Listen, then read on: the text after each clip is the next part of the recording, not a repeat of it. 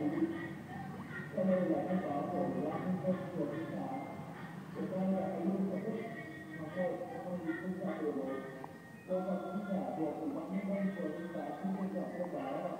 các ông bà được tổ chức